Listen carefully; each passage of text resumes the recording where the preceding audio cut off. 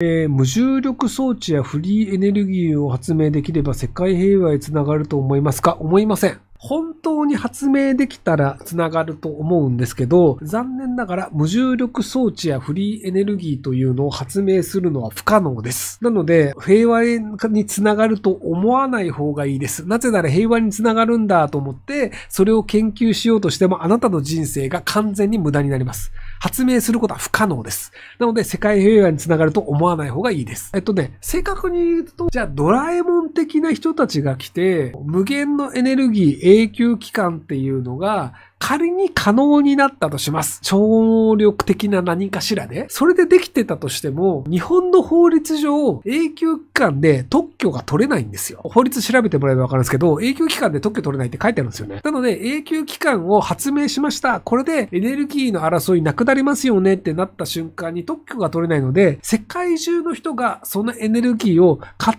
手にエネルギーを作るという技術を勝手に使うことができるので、その技術を使って、より高度なエネルギーを使って、戦争で優位に立とうという形になります。無限の永久期間というのをあなたが独占できて、特許が取れて、じゃあ、平和利用するんだったら、このエネルギーを使っていいよっていうことができるのであれば、そのフリーエネルギーを使って世界を平和にするというのが可能かもしれないんですけど、残念ながら、あなたが独占することはできないという法律になっています。なので、フリーエネルギーを作ったとしても、そのエネルギーを使って戦争を続けるっていうのは変わらないと思います。